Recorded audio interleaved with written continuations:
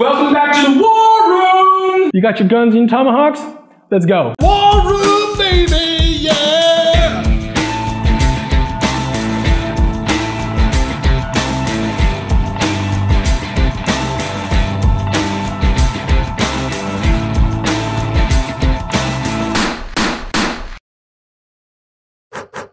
It's a place for winners.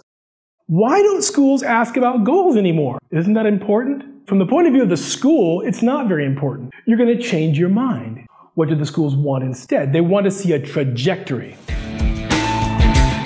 Okay, what is a trajectory? Well, it's like a spaceship taking off into space. It's some kind of logical path from where you are to where you want to be. And it's based on the skills and experience that you have and how you've used that or how you could use that to go into the future with your education.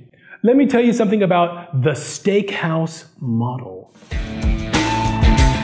A steakhouse buys beef. They buy raw beef, they bring it into the steakhouse, they dress it up, they cook it, they put a salad next to it, some french fries, a glass of red wine, a fancy napkin, and a dinner plate, and they sell it to the highest bidder. Ladies and gentlemen, you're the beef. What does it mean? It means you've got to be the kind of beef that they want. Are you hamburger where they're going to turn it into the world's most expensive, luxurious $200 hamburger? Are you chuck steak? Are you a roast? Are you, are you a rib roast? Are you prime rib? it doesn't go that far. There's, there's many more kinds of characters that you can be. But the fact is, when you dress yourself up for school, you're doing it for them so they can see the trajectory. Therefore, when you talk about your profile, show what you know how to do and the skills that you have, how they will lead to where you're going. Typical story a guy who's worked his whole life in a bank wants to become an entrepreneur. Okay, sounds good, doesn't it? But where are the entrepreneurial points in his profile? Zero. He wants it really bad, but wanting it really bad doesn't create a trajectory. It doesn't make him fly into space. It makes him say, hmm, he wants something that's illogical. It's not going to fit with the steakhouse model. He's not going to get what he wants. Hey, let's let him go somewhere else. If you do have some experience in entrepreneurship and you want to be an entrepreneur, put that as USP. That is part of your USP that you put up front and center. Oh, I have a background in entrepreneurship. I helped my uh, parents start a vegetable stand in the market or I had a little, I had a little film uh, crew when I was in the university, or I started a club, or whatever it is that you did that might look like an entrepreneurship, that kind of stuff helps build a trajectory in that direction. If you're a banker and you don't have that, it's probably not a good idea to talk about wanting to be entrepreneur. Now, you're saying, but I really want to be an entrepreneur. No problem.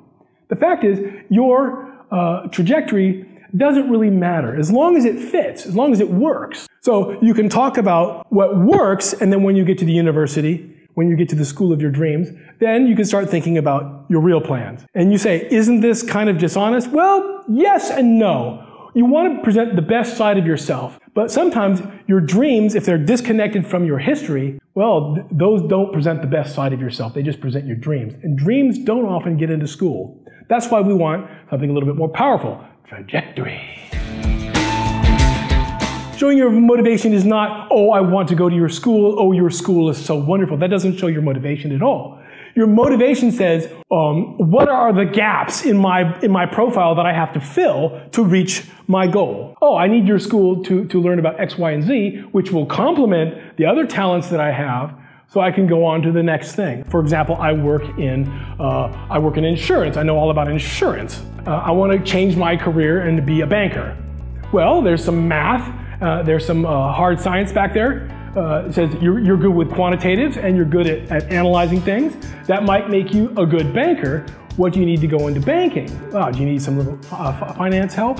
You need some assistance in finance, or you want to go to the school to learn finance and some kind of client relationship management so you can get involved in banking. For example, you want to be a CEO or a leader of some company. You want to go from your position now, which is an analyst position, into being the, the head of some division or the CEO of something? What are the steps along the way? Maybe CEO is a bit of an ambitious goal. Sounds good. Maybe that's long term. Maybe short term is to become head of the division.